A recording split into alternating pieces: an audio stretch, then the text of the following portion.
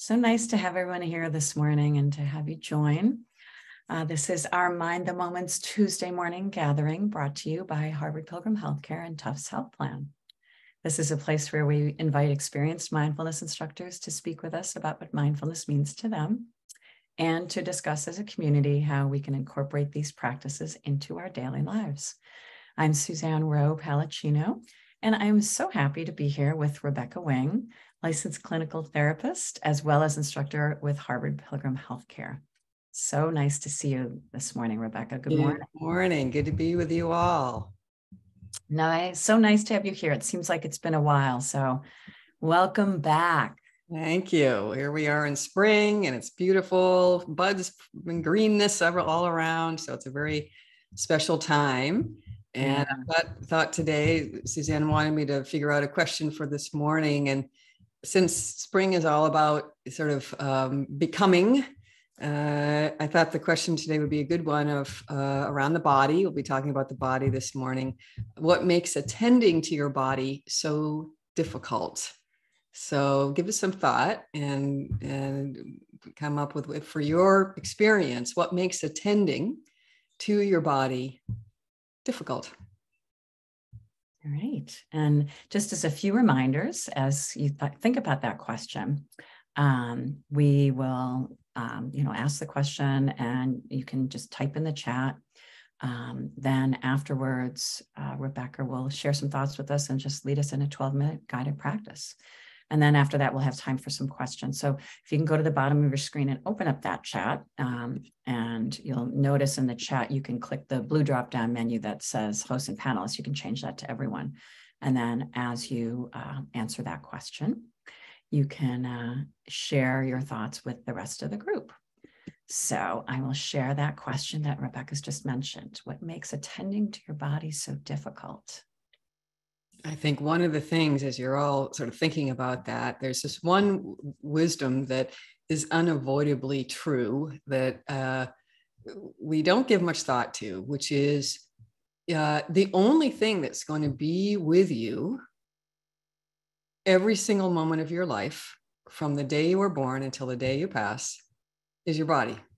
It's the only thing, right? Other people come and go, events come and go, things that you own come and go but this reality of the fact that you have this this sort of a, a being accompanying you through life uh, and how important it would be to consider the the importance of learning how to attend to it because it's with us beginning to end hmm. yeah. yeah very interesting inquiry yeah so what makes attending to your body so difficult I like Bridget's one lack of energy. It's interesting, isn't it? You know, lack of energy being that I I don't want to feel my body necessarily because it feels so exhausted that it's hard to to be with it. Sometimes people I work with, being a therapist, I specialize with adults who have ADHD and anxiety, and um, they talk so much about not wanting to be in their body because they feel too uh, edgy, too too much adrenaline, and even that, the opposite of obviously of lack of energy being that I don't like feeling uncomfortable in my body because of that buzziness or that edginess that I feel. So it can be any form of energy that we we just don't really want to face or be with. Yeah. Mm-hmm. And the mm-hmm. other part is that that you know physical pain sometimes we don't want to have that.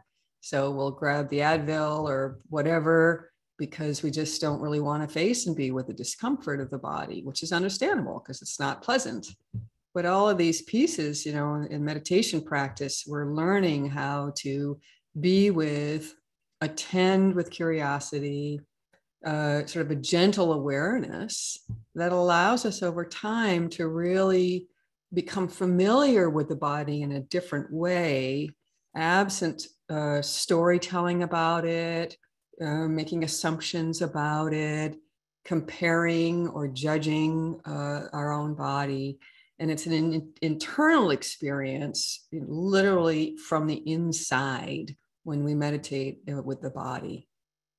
Yeah. So that's a good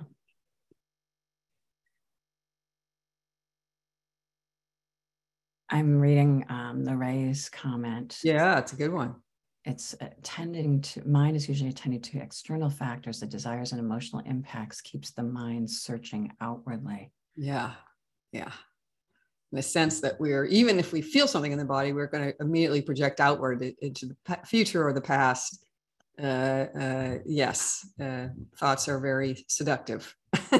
So we mm-hmm. go there instead. Yeah. Yeah. I um you know i i I'm finding I'm I have a little bit of a, a different twist on the question because I feel like right now I've been attending to my body a lot more lately, and I'm not really finding it difficult. Although I have um, aches and pains, you know, just in you know before I stretch and you know things that hadn't been there when I was in my 20s, you know. So, but I feel like I have a a little way a way to handle those things. So I've been much more connected to my body um, of late. So beautiful. Yeah. Yeah. And and that's what, you know, the neuroscience is very clear about this that if we're able to drop into the body with mindful awareness, it it allows the body to regulate itself uh, and in a sense um, operate with less uh, difficulty. Not that we're not going to have uh, discomfort, of course, but that that self-regulation simply through attending, being with, uh, is uh, sort of like uh, pulling from the the wisdom of the body, because the body is always attending to itself. It's always perceiving internally the external world, and so we learn from that internal attending to really be able to drop into present moment awareness in a fundamental way. So I think what I like to do this morning with the meditation is a it's a form of body scan. Um, it's going to be a shortened version, of course, 12 minutes.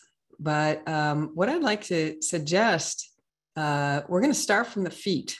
And if you're interested in exploring this in depth, you might even want to consider taking your shoes off because I think a lot of times we tend to uh, put things on our feet during the winter. And so here we are coming into summer, and maybe we can feel our feet on the floor. Of course, if your floor is cold, that might be okay because it gives you a little more sensation. so find a posture that you can sit in that allows you to really gather yourself in the chair and really feeling yourself have a sort of a nice rising spine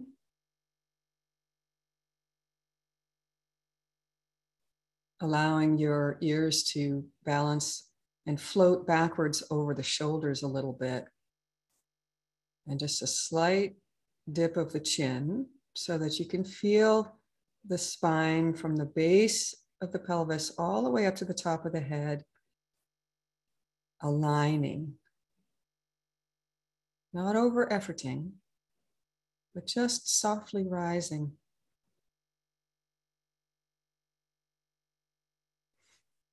And then noticing the chair beneath you, the sensation of the chair and the body where it connects.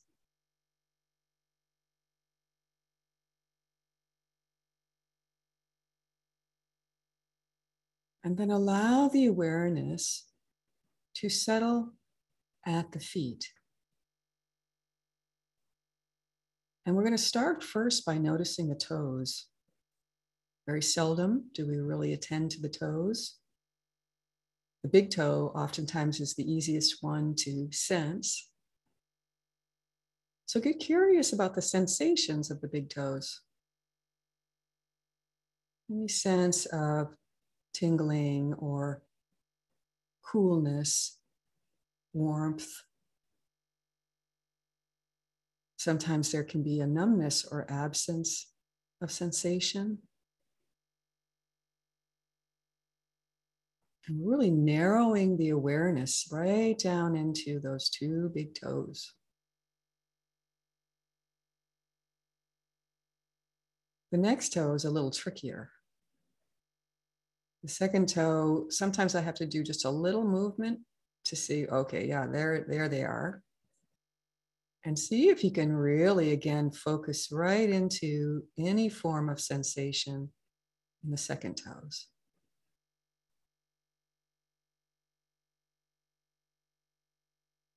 Third and fourth toes, even more of a challenge because, of course, they're sort of dependent on each other. But you may sense a temperature difference slight sense of sensation. And then the pinky toes, of course. Oh, how much we rely on these toes for our balance, our walking.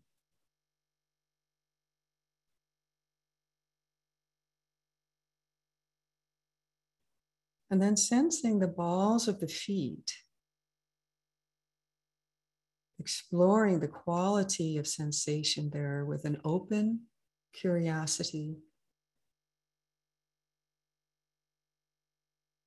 Maybe more aware of how they're connected to the floor, a sense of the internal experience of the balls of the feet.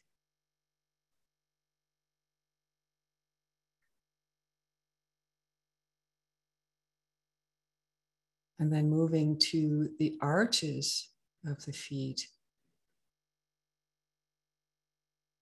This is an interior experience, but you may also notice that there's maybe a little space between the floor and you, or the sense of the rise within your shoes of the arch.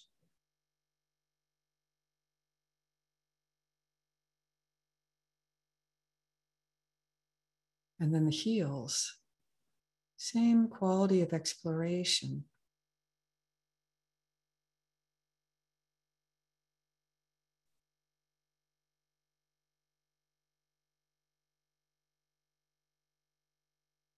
Inviting the awareness now to flow up into the calves. Really allow the attention to feel the difference in each calf. Sometimes they don't feel the same any quality of tingling, temperature, sense of tightness or ease. And see if you can allow those calf muscles to simply rest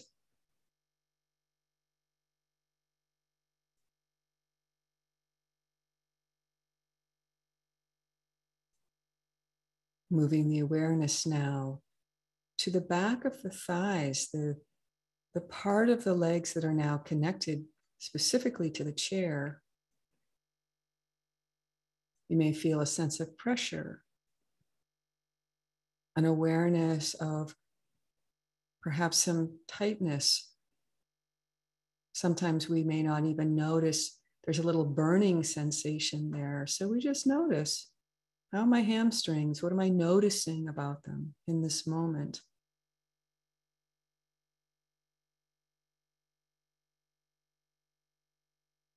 And sense where the legs there connect to the pelvis.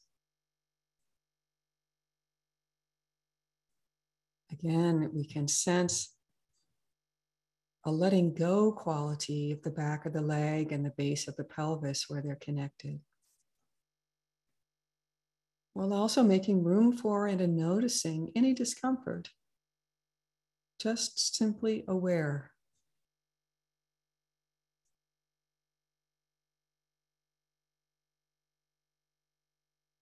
Noticing the top of the thighs now.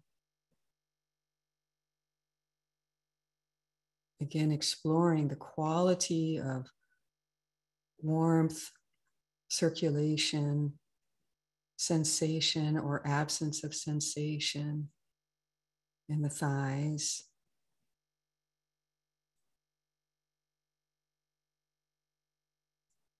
And how they connect into the top of the pelvis, a sense of that connectivity.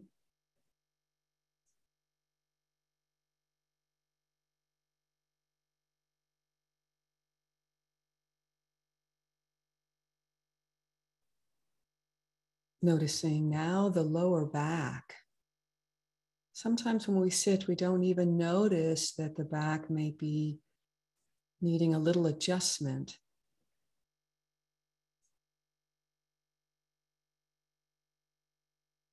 or a sense of fatigue or tiredness, achiness. Or maybe there's a warmth there this morning.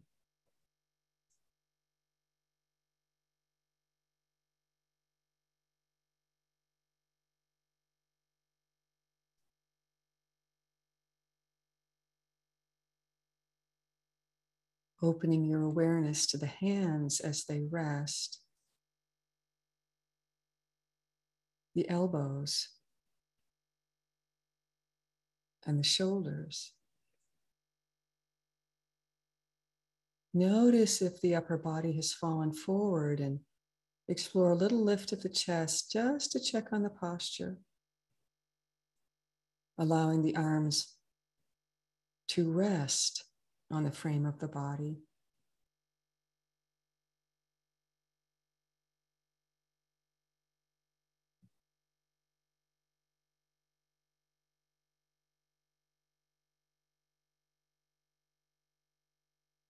Noticing the upper back now, that space between the shoulder blades.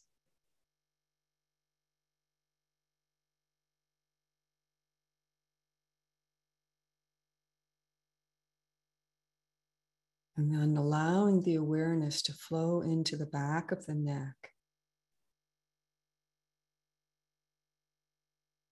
Exploring the quality of allowing the neck to be soft and receptive,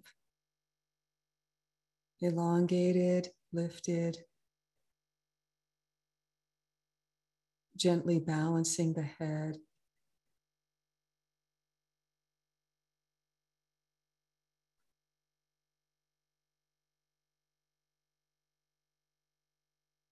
Noticing the jaw we can imagine and allow the tongue to float in the mouth, encouraging the jaw to release a little more.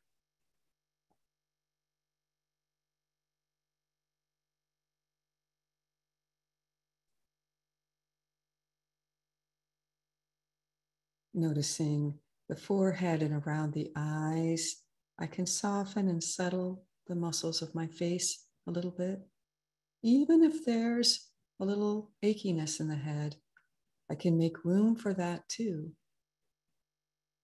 Simply allowing gentle awareness.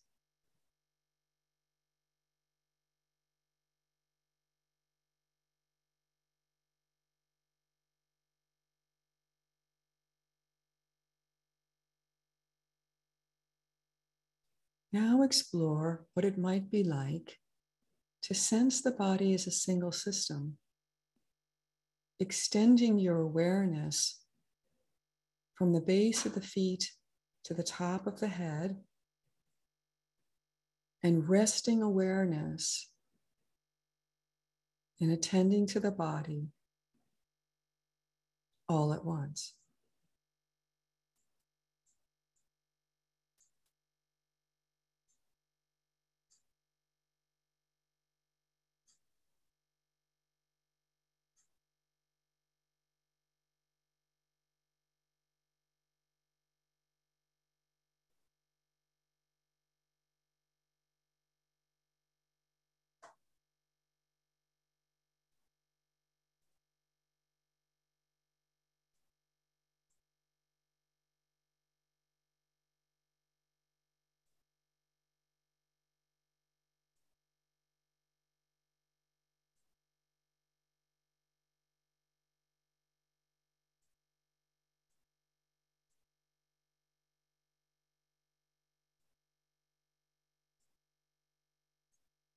The moment the mind wanders and you notice is the moment that you can return back to the interior realm of the body, finding refuge in the wisdom of the body.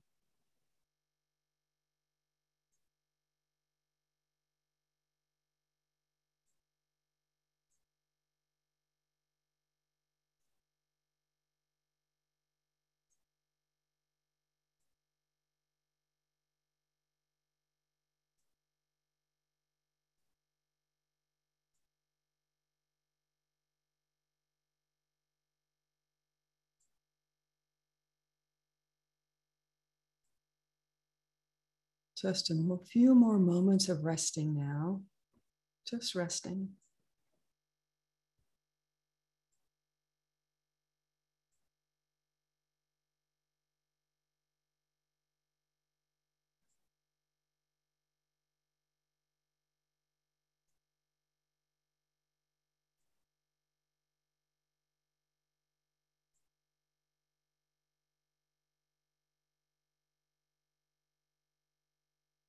So, as we end the practice, take your time.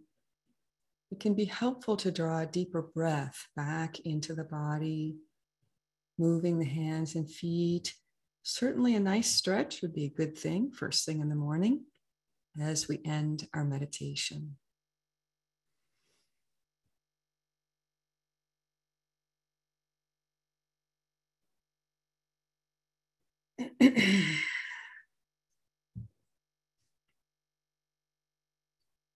Thank you so much, Rebecca. You're welcome. You know, there's a there's a saying in the Buddhist tradition about um, taking refuge in the wisdom body. And for years, I thought that meant a body of knowledge. Mm. And not until recently did I read a different interpretation of that. And in fact, the teachers of a thousand or more years ago meant no, take refuge within the wisdom of your own body. And it really struck me as a therapist. You know, I'm always trying to help people learn how to self regulate. But ultimately, it's not just about regulating, it's simply about attending and letting the body regulate itself, which is astoundingly simple if you get out of the way. so when you attend to the feet, and suddenly, like the feet are like there's a wisdom in the feet you notice and you feel the calves and the thighs and the more you do these kinds of practices the more you begin to trust oh if all i have to do is just drop into my body it's going to in a sense regulate itself simply by me attending to my to it itself. Yeah. Hmm. yeah that's i i really love the way you've the that phrase. I think it um it it offers a, a simple release mm. that you know when you mention your your thoughts get pulled away and then you can find the refuge by by coming back um and that term refuge just you know it's like okay there is a, a place i can go you know? Yes. I had a client just the other day say it makes me feel less lonely. And it's like yeah because you have this accompanying being it's with you all the time that you can always uh, you know seek comfort and refuge in. And i think that ultimately as a lot of folks you know noticed this morning with their responses somehow we almost feel it's not safe in there. But the, the fact of the matter is the more you practice uh, relaxing and settling and attending and being with even if it's uncomfortable the more the body thanks you by settling and and giving you that place of rest yeah. I i can see in my own in my own life how i can when i do focus on the body just on your, the point of your earlier in the question um, i've had an easier time doing that in the last couple of years. But of late when health ups and downs happen sometimes you're like oh you, people can think oh well how why has my body failed me? You know mm-hmm. like have those kinds of feelings of hmm i thought i could rely on my body and then all of a sudden this part is not cooperating you know? Yeah. And how and, do you deal with those kinds of feelings? Right. And you know i think the thing that's very interesting about that is uh, that uh, you can explore where in the body do i feel okay uh, it's very interesting. You know, a lot of times, of course, when we're feeling discomfort, we really hyper focus on that area. But mm-hmm. when you start to explore, well, actually, my feet feel fine, and bringing your attend- attention to the, the other areas in the body that actually are are okay, it allows the awareness to extend beyond uh, the the the hyper focus on the discomfort. And and that and I totally hear what you're saying, Suzanne. That's quality of you know I thought I could. Uh, you know rely on this body because the reality is uh, there is no escape from old age sickness and death no escape And so, how and in what way we work with that awareness and that acceptance of the reality of that, the, the better it is that we become recognizing, well, you know, I'm sorry you're suffering. I'm, I'm, uh, you know, bringing compassion to the suffering of the body, being with it, attending to it, the same way we would with someone who is sick, who we love. You know, that same attending gentleness uh, so that when we're feeling dis- dismay and, and confusion, we can drop into compassionate self awareness. Uh, I, I had a, a, experience with cancer years ago, and I remember going through these periods of time where I was just sort of saying to my body, I'm so sorry you're having to go through this, like literally speaking to my body as a dear friend.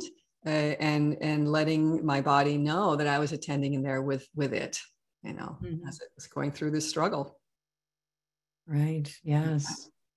And and eh, the difficulty, but then the feeling of freedom when you can send that positive energy to even something that is in your body that's growing that you don't want to deal with. Mm-hmm. Um, but knowing, you know, saying things like, okay, it's time to go.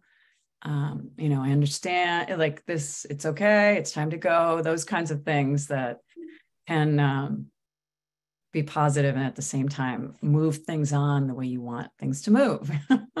yes. Yeah. So, so this yeah. would be a good time in the spring because springtime we tend to feel sort of unbounded energy around us as the as the flowers and the grass and the trees are all budding out and the green becomes just so technicolor in, in so many ways to really get more and more uh, uh, connected to that in a physical way like feeling the internal spring uh, as the weather warms and the sun strengthens to get outside and walk or sit uh, and be with nature as, as many and as often as you ta- uh, times as you can because that will continue to nurture and bring attentiveness to not only the internal realm but also its relationship to the external right which in in springtime can be very dynamic so, yeah, that's so lovely that you've brought that in. I love that because I mean, I guess we can connect nature,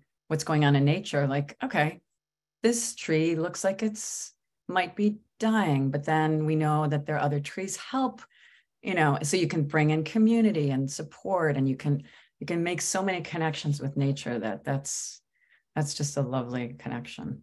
I have a dear friend who who's an avid barefoot walker and and he's always reminding me this time of year take your shoes off take your socks off and go walk around the lawn a little bit. And it really is amazing. You begin to realize oh there's like a, a, a whole nother realm of experience there with my feet feeling the grass underneath my feet after being encased in shoes and socks all winter long. Yeah absolutely yeah, no, there's another teacher, Roberval, um, on our webinar is also the same, um, has the same passion about that. And I've been meaning to try it and I need to need to give that a try. our, our, our, wimpy little wimpy pussy feet that can't do anything, you know, it's like Yeah, yeah. Like, okay, it's time to to explore and let let your feet feel all all feel all the feels.